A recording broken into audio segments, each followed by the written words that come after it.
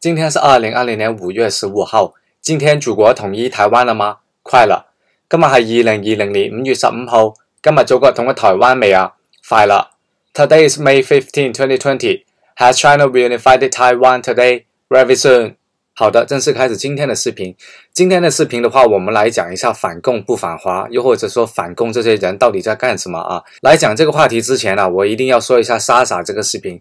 莎莎这个视频啊，真的将我所有的心声都说出来了。莎莎这个视频呢，也是五月十五号录制的。在里面呢，它其实有个标题写着“十八禁”。为什么它写着“十八禁”呢？每一次它的标题只要写着“十八禁”的话，它里面一定有大量大量的脏话的。这些脏话呢，也是骂到我心里去了，将这些反共分子啊骂趴下了，就说这些反共的人呢是望不到边的一群傻逼。我会将这个视频的链接呢放在我视频的描述里面。啊、在这里呢，我只会播放一小段，让大家听一下啊，我们的莎莎是怎么骂的。领头肯定是个大傻逼，天天在那反共，反你妈了个逼呀！你们反呢？你们反成啥了？啊？你们反成啥了？好像四十年前就反共了吧？反成啥了？你他妈告诉我你们反成啥了？操你妈的！操你妈！就骂你们呢！你们反成啥了？对，这里问的非常对啊！这些反共的人到底反成了什么呢？啊？中国共产党现在带领了中国大陆的人民啊，走向小康社会，解决人民的温饱问题。十四亿人啊，大佬们，十四亿人基本上能吃饱饭，这是什么概念啊？可是呢，这些反共的傻逼们呢，总是拿着共产党几十年前曾经做过一些有需要改进的事情，来一遍遍的讲，来一遍遍的放大化啊，一遍遍的在那边揪着这些事情来不放啊！你们这些人，几十年过去了，还在那边讲。可是现在的共产党，我之前说过了，现在的共产党已经不是几十年前的共产党了。共产党厉害的地方就在于它有强大的纠错能力，以及只要它的宗旨是为人民服务的话，我就支持它。因为呢，它是为了我们人民在服务，而不是你们那些反华人跑到了海外啊，吃着那口反华饭，一遍一遍的在反华。你们在海外吃香喝辣的，如果你们真的那么体恤中国人民的呃水深火热，那你们就应该将海外赚到的钱啊拿回来中国，支持我们中国大陆啊。我们中国大陆的人生活的那么水深火热，把钱拿回来捐给我们啊。另外，我再给大家看一个视频，这个视频是我自己的视频，当时呢是我在二月十四号录的一个节目，当时我在里面有提到，感谢订阅人数超过一百，聊聊呃我平时看的一些 YouTuber 反共不反华，李文亮医生以及统一台湾，里面提到了反共不反华，我会播放一小段啊。不过在播放一小段之前呢，我还是要先谢谢，在二月十四号的时候呢，我的订阅人数超过一百个人啊，我要谢谢当时订阅我人数的那一百个粉丝，当然了，也非常非常感谢现在我订阅人數來到两万多人，我谢谢每一个人。如果不是你们的支持的话，我不会坚持啊每天的一个打卡视频，我不会有这么多的动力来录啊这个节目。非常非常谢谢每一个订阅我的人数。好的，那现在我就播放一小段我当时是怎么说反共不反华的，来给大家听一下。讲三个我的立场。第一个，所有说反共不反华的人都是 loser。这些人口头上说他们反的是共产党，不是反的中国，但其实上他们反的也是中国。他们只要见到中国有什么不好的新闻、不好的呃事情发生了，他们就会落井下石。但是如果中国在某些地方取得一些成就，打个比方，运动上。科技上以及文化上取得一些成功的话，他们从来都不会表扬的。所以反共不反华”这句话就是一个伪命题。那些说反共不反华的人，他们只是为了反而反，他们就是为了吃一口反华的饭而已。第二个，我想说，对，在里面我说到了，其实这些反共不反华的人，其实他们就是反的中国呀。只要中国有什么不好的事情发生，他们都会归结为这个共产党所导致的。那你们说这些人啊，口头上说反共，但其实啊说啊我不是反中国啊，那有什么道理呢？他他们其实已经自己画等于号了，将共产党和中国他们自己画等于号了。可是他们一遍遍说啊，党是党，中国是中国。可是他们的言行，他们的言行就是给他们打脸，就是说啊，他们已经在反共产党，但其实也是反的中国，一样的道理的。所以呢，我才在视频里面说啊，反共的这些人呢，都是一群 loser 啊，我骂他们 loser 可能还是比较斯文了。大家如果想听莎莎是怎么骂这些反共的傻逼的话，来听一下莎莎这个视频啊，骂的非常非常的露骨。在这个视频里面呢，莎莎主要是骂那些本身已经表现出来自己是反共的人了。但是在这个时候，我要呃拿这一个视频来跟大家分享一下。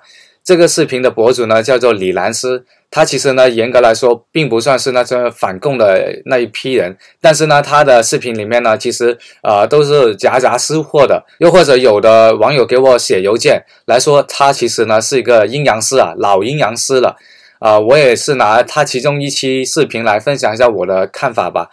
在他五月六号的一期视频里面呢，他的标题是“小粉红爱国问答”啊，这些人啊特别喜欢给我们扣帽子，说我们是小粉红这样那样的。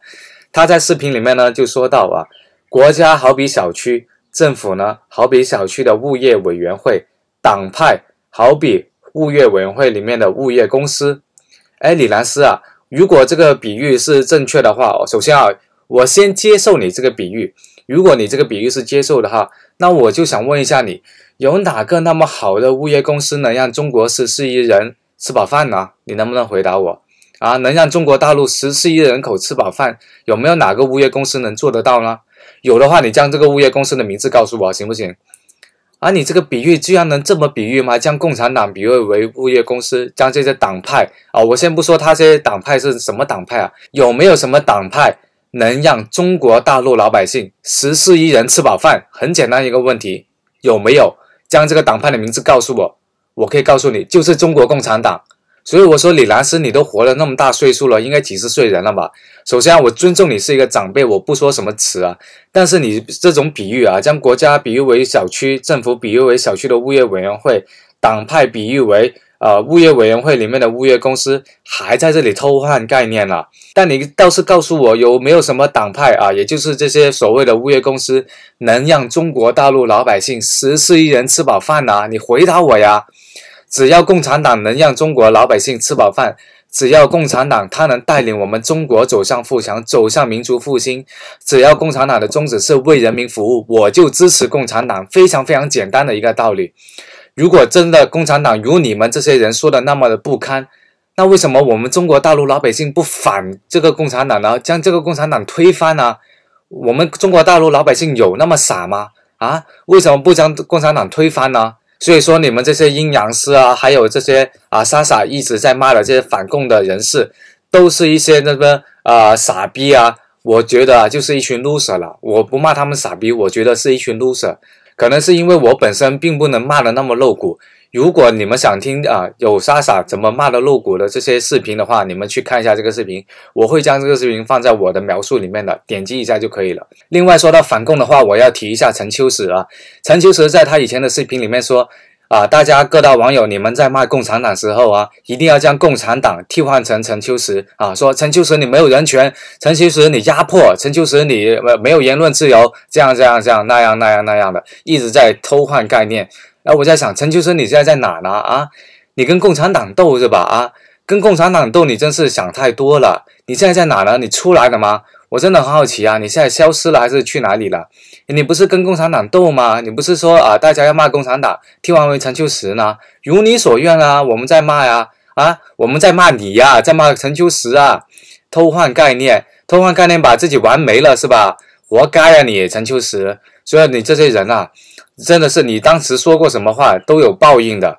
陈秋实，你现在有这种场面啊？不知道你去哪里了？我只能说一声活该。我一点都不啊同情你这种遭遇，我就是说你活该。真的是，我觉得这些人活了几十岁了，到底是在想什么的呢？我一个九三年的人啊，我跟你们玩底层逻辑好了。你们整天的在啊反共反共，反了几十岁人了，在海外也活了那么些年了，你们在海外呃赚的这些钱。拿回来捐给中国大陆老百姓啊，捐给那些贫困山区的人啊，让他们吃饱饭呐。你让他们吃饱饭的同时，告诉他们说，共产党让你们吃不饱饭了。我在海外赚的这些反华的钱、反共的钱，我让你吃饱饭了，跟我站在一起，跟我站在同一阵线上，我们一起把共产党推翻，行不行？你应该这样灌输这些人啊。可是你们做不到嘛，只有中国共产党才能带领我们中国人走向富强，走向民族复兴。很简单一个道理，你们这些 loser 傻逼。一遍遍的在反共反共，真的是烦你。哎，我也不说后面那个词了。想听那个词的话，想呃就去看莎莎这个视频好了。今天这个视频我还是录的比较生气的。呃，有喜欢这个视频的话，欢迎给我一个点赞吧，在评论区里面打卡留言，将这个视频啊转发出去。有喜欢我频道的话，欢迎订阅一下我的频道。我们下个视频再见，拜拜。